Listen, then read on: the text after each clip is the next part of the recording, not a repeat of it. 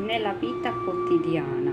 Delle comunità per minori vanno contrastate le logiche istituzionalizzanti e si deve promuovere un approccio centrato sulle relazioni interpersonali, mantenendo l'attenzione sul preminente interesse del minore.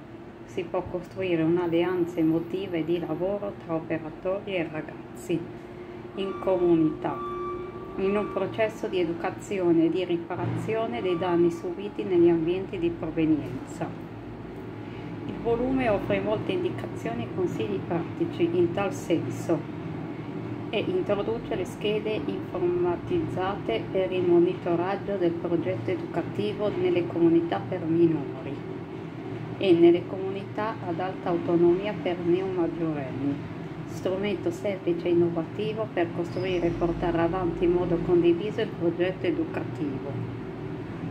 La guida si rivolge agli educatori che operano nelle comunità per minori e per neomaggiorenni e a chi riveste ruoli di coordinamento e di dirigenza di strutture di assistenza residenziale per minori.